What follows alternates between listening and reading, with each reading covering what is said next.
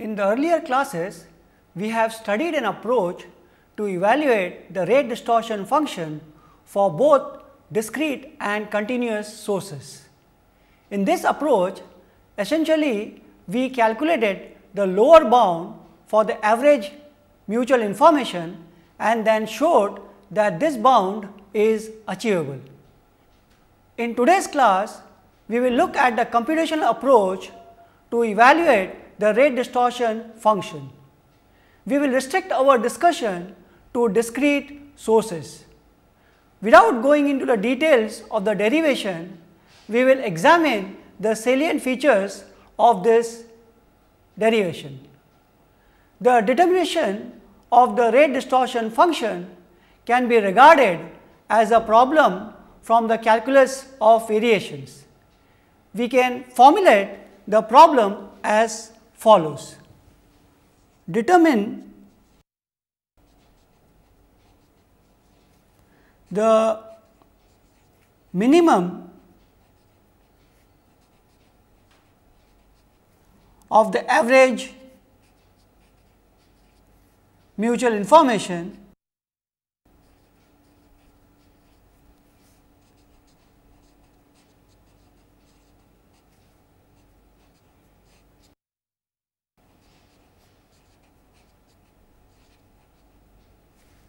that is I of q where based on the earlier notation q is the conditional or transitional matrix is equal to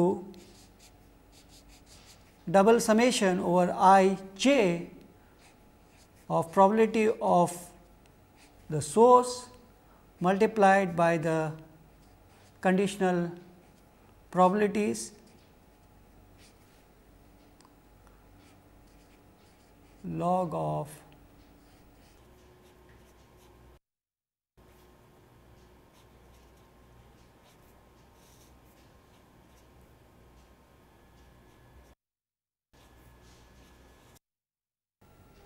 So, we have to minimize I q as a function of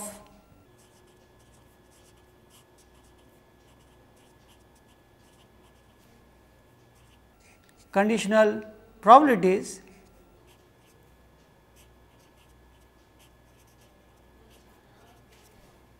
with the following constraints.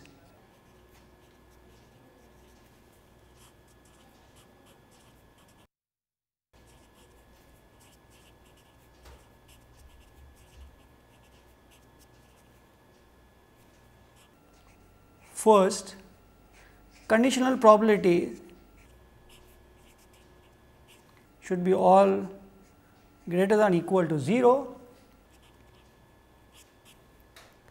summation of the conditional probabilities that is probability of y j given x i is equal to 1 and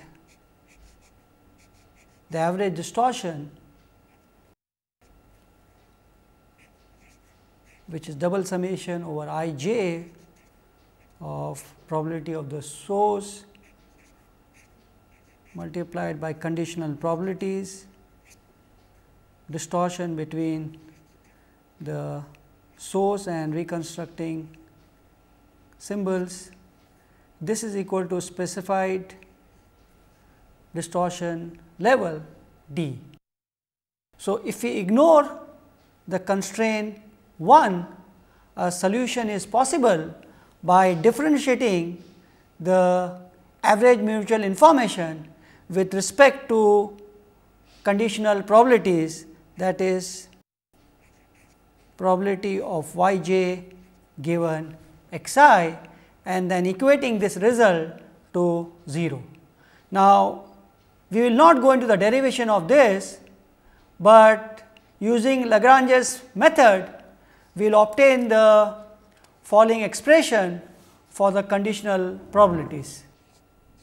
Probability of y j given x i is equal to probability y j multiply e raised to exponential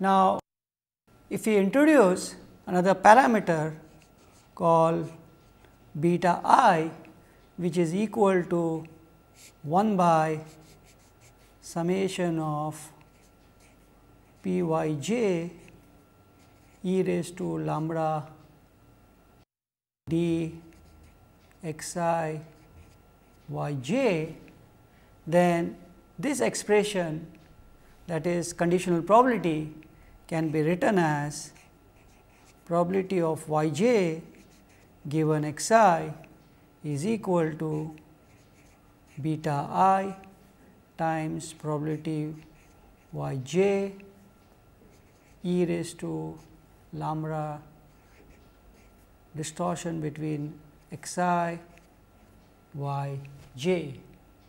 So, this procedure yields a set of equations for each i and j where probability of y j given x i is expressed in terms of probabilities of y j.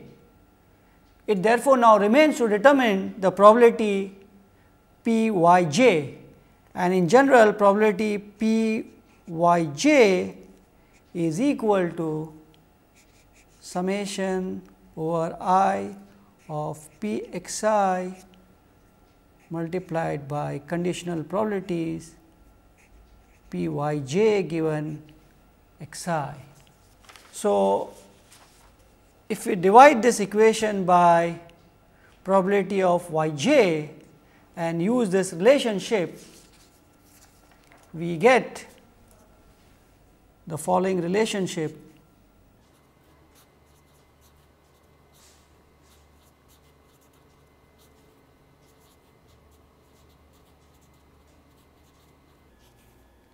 is equal to 1 or same thing can be rewritten as summation over i of p x i e raised to lambda d x i y j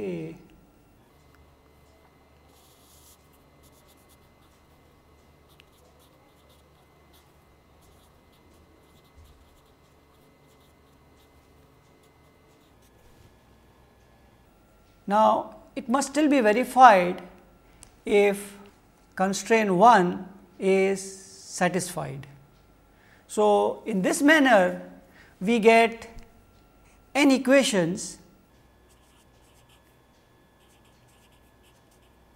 assuming that the size of the reconstruction alphabet is n for the n probabilities p y j which now may be solved. And after this the conditional or transitional probability matrix Q can be determined. So, with the equation so obtained, it is now possible to obtain an expression for R d and d q as follows. We know that the distortion as a function of conditional probability matrix Q is equal to double summation i j probability x i multiplied by conditional probability multiplied by distortion between x i y j and this can be rewritten based on the previous results as summation over i j beta i p x i p y j e raised to lambda t x i y j d x i y g. Now, since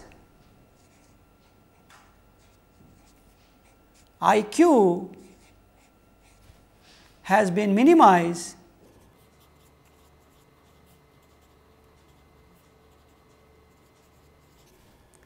we can write the rate distortion function R d equal to I q which is equal to double summation over i j of the quantity p x i p y j given x i log of p y j given x i divided by probability y j. And from the relationship which we have derived from p y j given x i over p y j equal to beta i e raised to lambda d x i y j, we can write the rate distortion function R d as follows. R d is equal to double summation of i j p x i p of y j given x i log of beta i e raised to lambda dxi yj. and this can be further simplified to get the following result.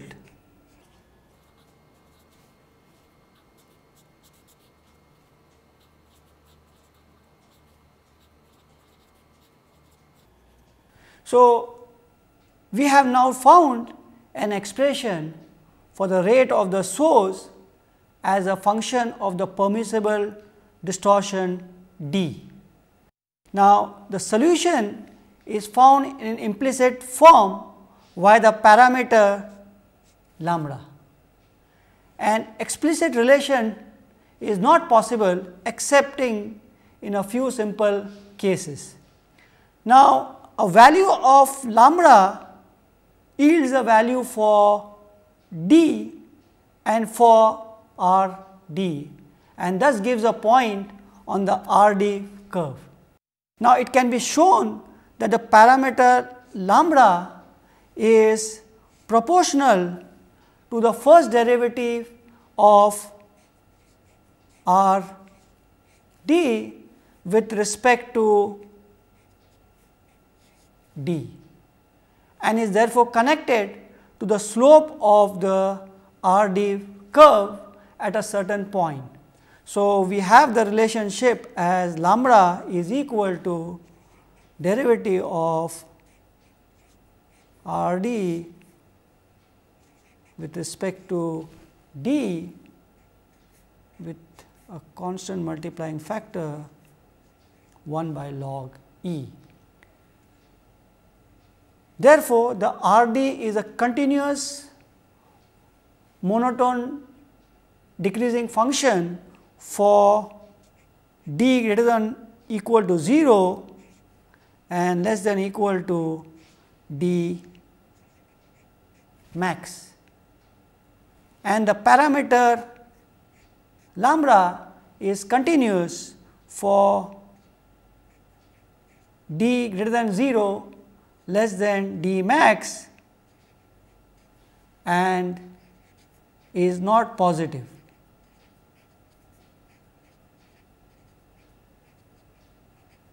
In order to get a better understanding of the concepts of the computational approach, let us apply this approach to evaluate the rate distortion function for a binary source. Earlier, we have already derived the rate distortion function for a binary case.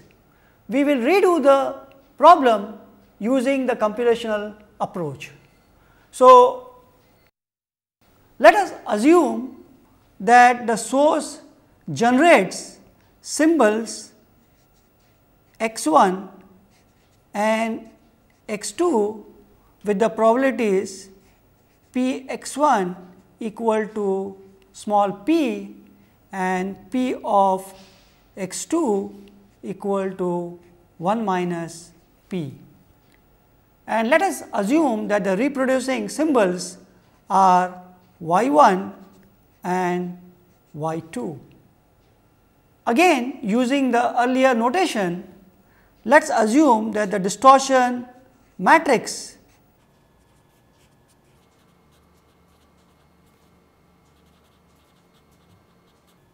is given by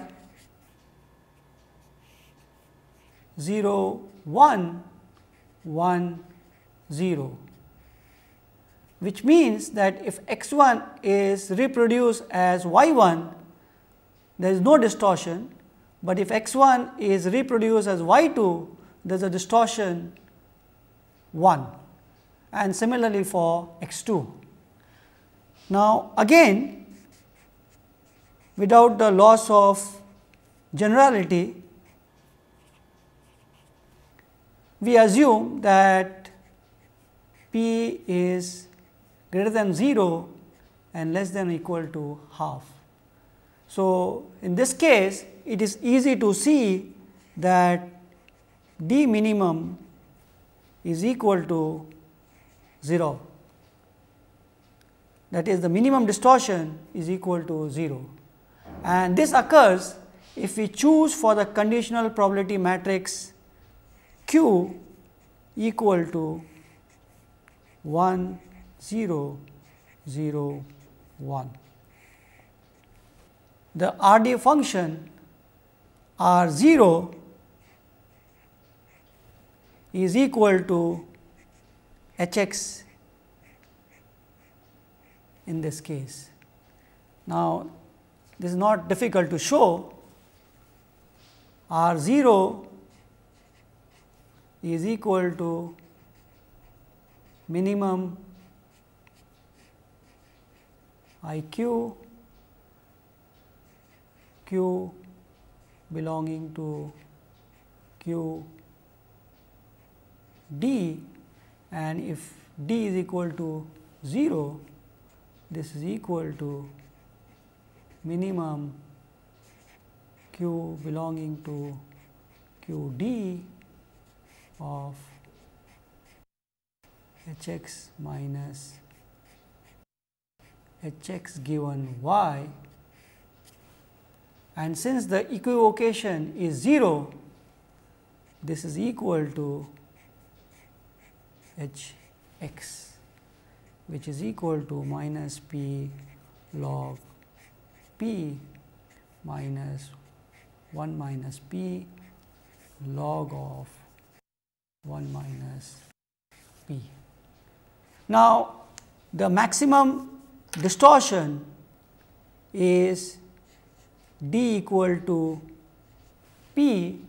Now, this is the best choice that can be made if I q is equal to 0, because the alternative d equal to 1 minus p always yields a larger distortions since p is less than equal to half. So, the matrix Q of the conditional probabilities in this case is equal to 0 1 0 1. Now, in order to determine the other points of the R D curve, the probabilities p y j must first be found. So, we have seen that summation over i of b i p x i e raised to lambda d x i y j is equal to 1.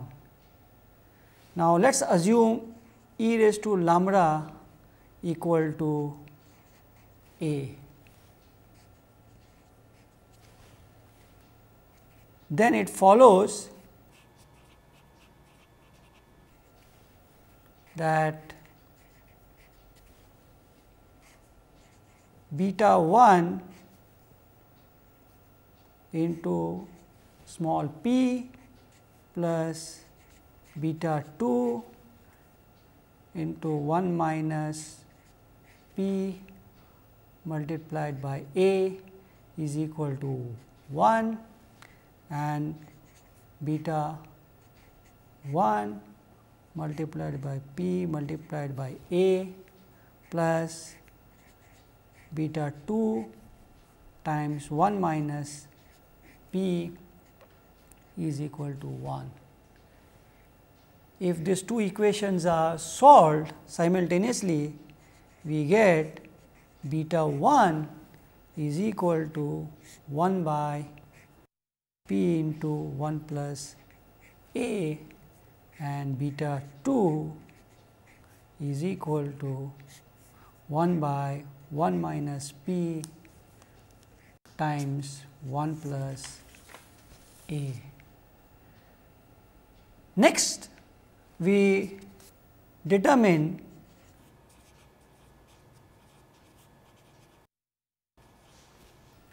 probability y j from beta i.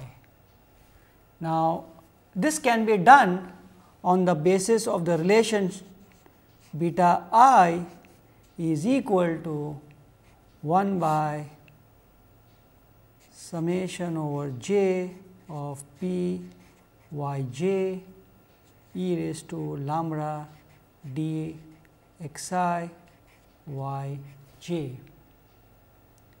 So, using this relationship we find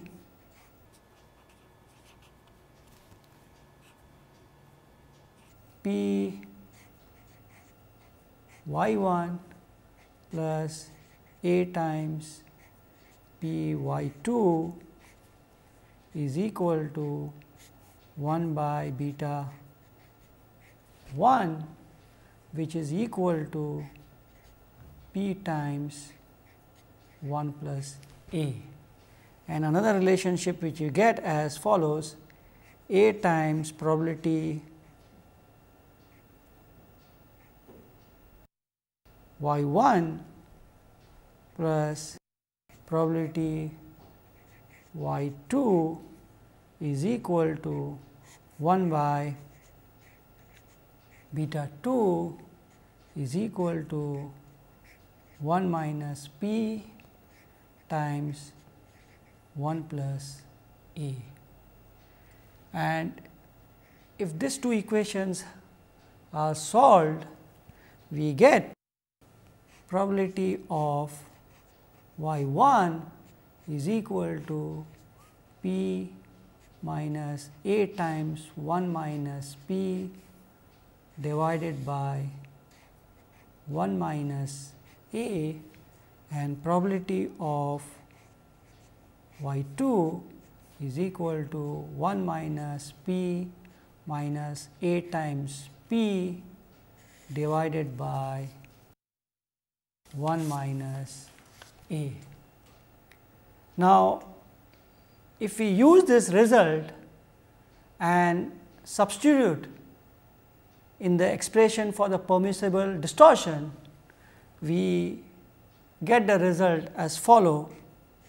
D is equal to double summation over i j of beta i p x i p y j e raised to lambda d x i y j times d x i y j.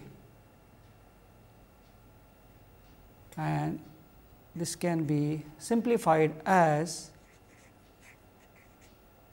beta 1 times p x 1 times p y 2 e raised to lambda plus beta 2 p x 2 p y 1 e raised to lambda. And if we substitute the values for p y 1, p y 2, beta 1, beta 2, p x 1, p x 2, we can show that this simplifies to a by 1 plus a. Now, we know that R d is equal to lambda times t multiplied by log to the base 2 of E plus summation of p x i times log beta i. Now, because A is equal to d by 1 minus d from this relationship and lambda is equal to log 2 a divided by log of e to the base 2 R d can be rewritten as follows. Is equal to d times log of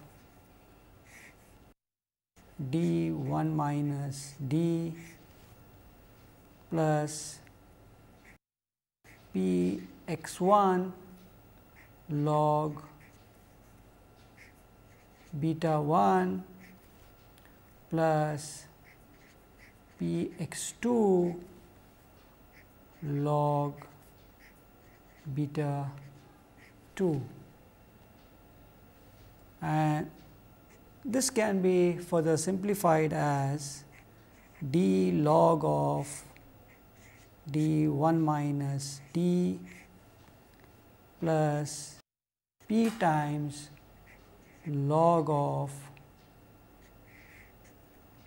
1 by p times 1 plus a plus 1 minus p times log of 1 by 1 minus p times 1 plus a.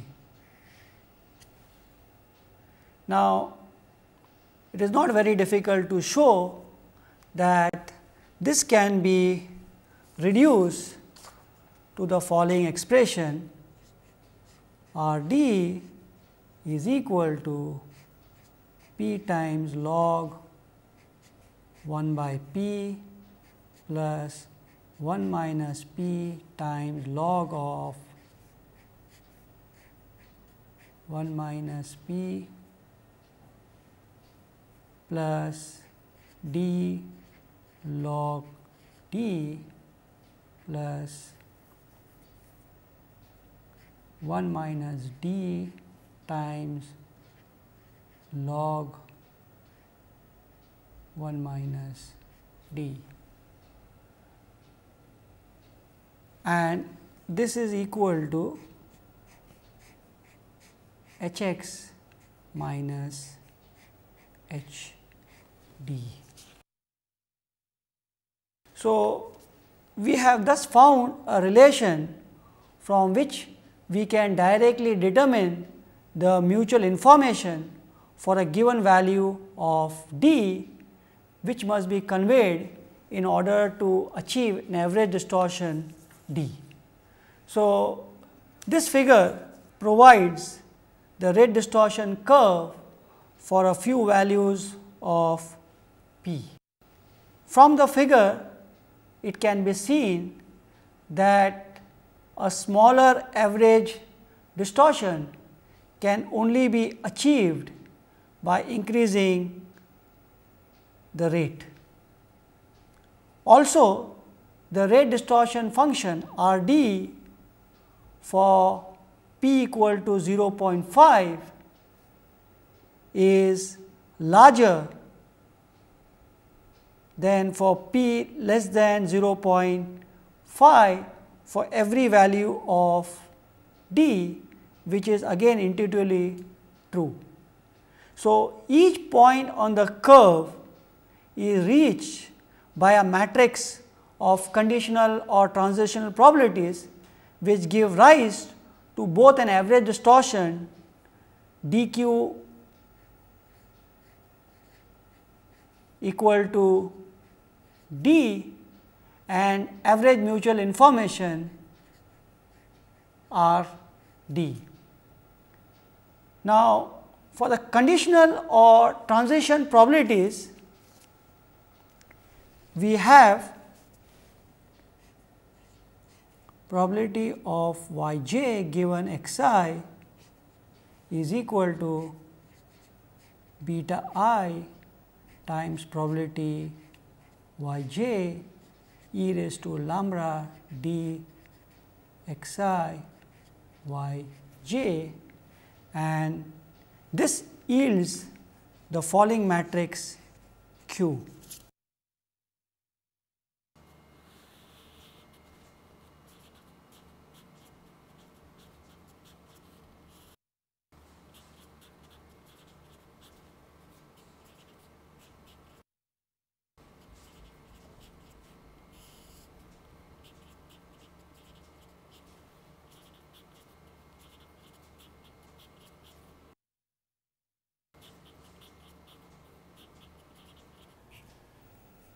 and finally 1 minus p minus a p whole over 1 minus p 1 minus a squared.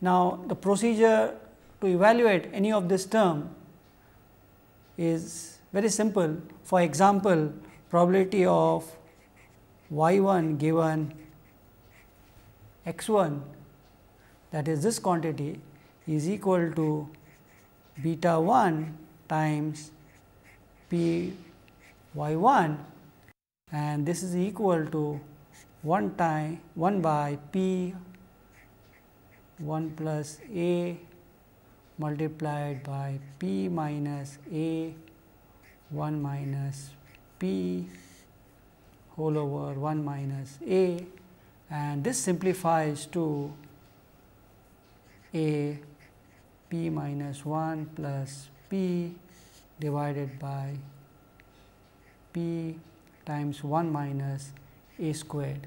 So, similarly other terms can be evaluated. Now, let us extend the application of the computational approach to a discrete source which is not a binary. So, let us take another problem where we have a source and reproducing alphabet. The source alphabet size is 2 and reproducing alphabet size is equal to 3. The probabilities of the source symbols are given as follows probability of x 1 is equal to probability of x 2 is equal to half and the distortion matrix is given as shown here. Let us also assume that the output or the reproducing symbols probabilities are specified.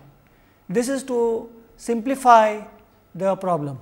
So, p of y 1 is equal to 2 by 5, p of y 2 is equal to 1 by 5 and p of y 3 is equal to 2 by 5 and the problem is to calculate the rate distortion function for d equal to 0.45. So, the solution is as follows. we know that beta i is given by this expression. Therefore, beta 1 can be rewritten as based on the fact that probability of p y j has been specified and distortion between x 1 and y j has been also specified. Now, the same value for beta 2 is obtained as for beta 1. Since also p x 1 is equal to p x 2, we find that the distortion d which is given by this expression can be rewritten as follows. d is equal to beta 1 times probability of x 1 multiplied by these two terms. And if we substitute the values for these terms, we get the following expression. So, the rate distortion function as function of d and lambda becomes with the help of the equation r d equal to lambda d log e plus summation of p x i log b i as follows. R d is equal to lambda d log e plus log beta 1 because beta 1 and beta 2 are same and this can be simplified to this expression.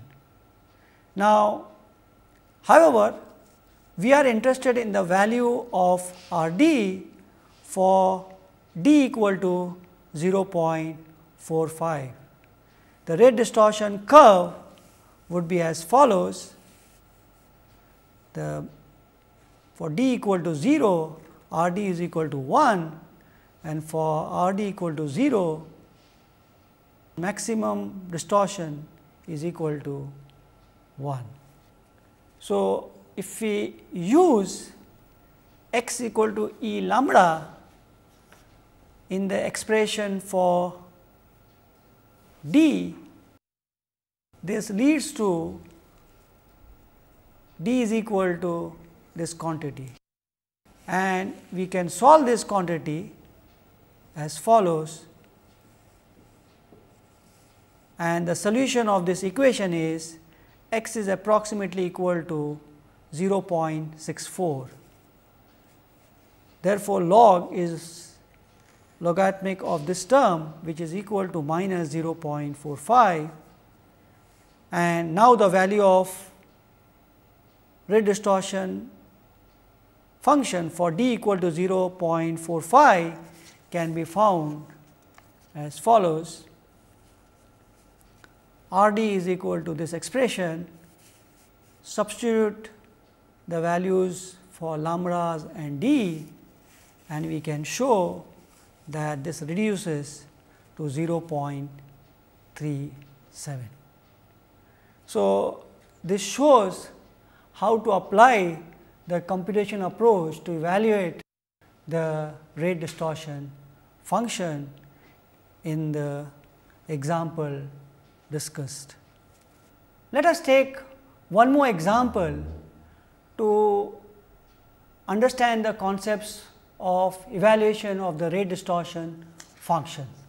So, let us consider a channel with input alphabet given by x 1, x 2, output alphabet y 1, y 2 and transition probabilities. Probability y j given x i. At the input the probability of x 1 equals 1 fourth.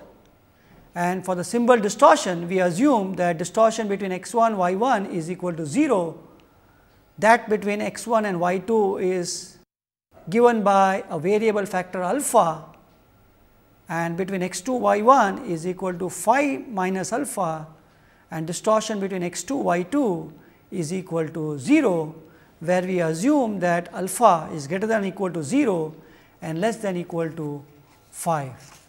So, distortions and transition probabilities between the inputs and the reproducing symbols can be denoted by this diagram. x 1, x 2, y 1, y 2, probability of this is 1 fourth, probability of x 2 is 3 fourth, probability of y 1 given x 1 is 3 by 5, this would be 2 by 5, this is 3 by 10 and this is 7 by 10 and distortion between x 1 and y 1 is denoted in brackets. This 0 this is phi minus alpha between x 1 and y 2 is alpha and that between x 2 and y 2 is 0. So, this is distortions and transition probabilities.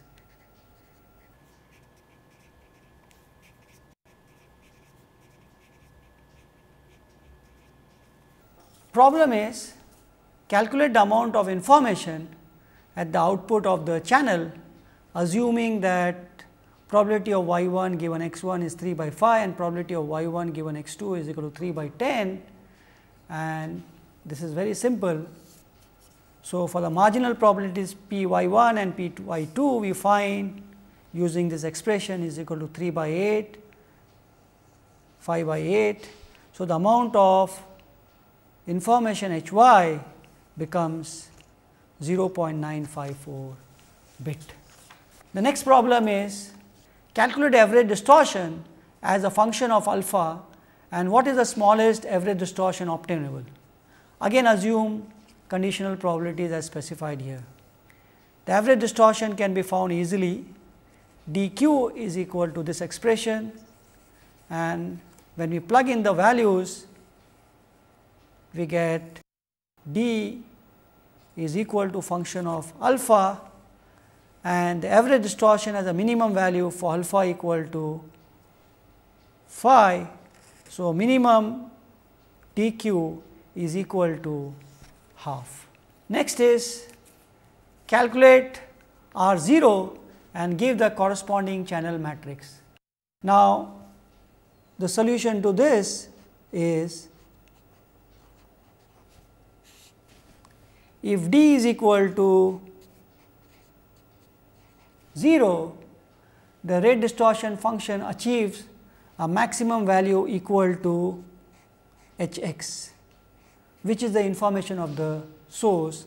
And in this case this is equal to minus 1 fourth log 1 fourth minus 3 fourth log 3 fourth is equal to 0.811 and the corresponding channel matrix Q is equal to 1 0 0 1 that means there is a one to one correspondence between input and output symbol. And finally, let us calculate D max which is the smallest distortion possible when no information from the source is received and what value of alpha will obtain the largest D max. Now, the solution again is as follows.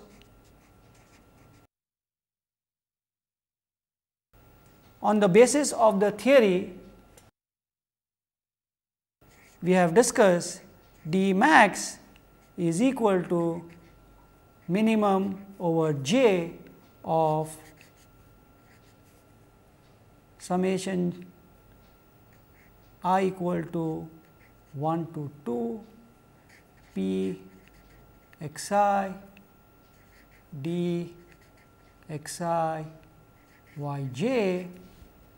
And in the present case we get this minimum of 1 by 4 alpha 3 by 4 times phi minus alpha. And therefore, d max is equal to 1 by 4 alpha for alpha between 0 and 15 by 4 and is equal to 3 by 4 times phi minus alpha for alpha between 15 by 4 and phi.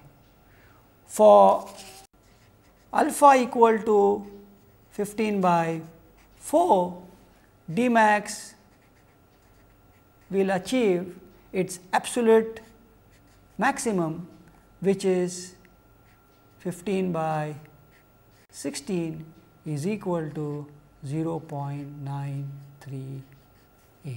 So, after having examined some of these problems, we can come to the following conclusion that determining the rate distortion function is generally not easy and because of this a lower limit is often used for calculating the rate distortion function.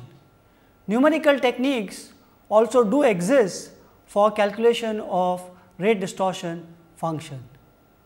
Over next few classes, we will examine how the concepts of rate distortion function can be utilized to design efficient lossy compression schemes. In the next class, we will begin this study with quantization of a continuous source in finite discrete levels.